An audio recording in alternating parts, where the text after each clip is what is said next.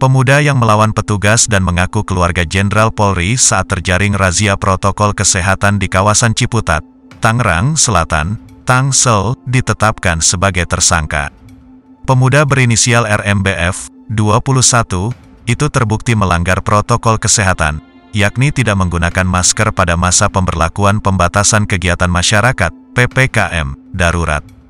Diduga melanggar protokol kesehatan dan diingatkan oleh petugas, namun yang bersangkutan melakukan penyanggahan atau perlawanan kepada petugas, ujar Kapolres Tangsel AKBP Iman Imanuddin dalam konferensi pers yang disiarkan secara daring, Rabu, tanggal 7 Juli tahun 2021. Menurut Iman, tersangka ditangkap pada Rabu siang, dan kini sudah dalam proses penyidikan oleh Satuan Reserse Kriminal Polres Tangsel.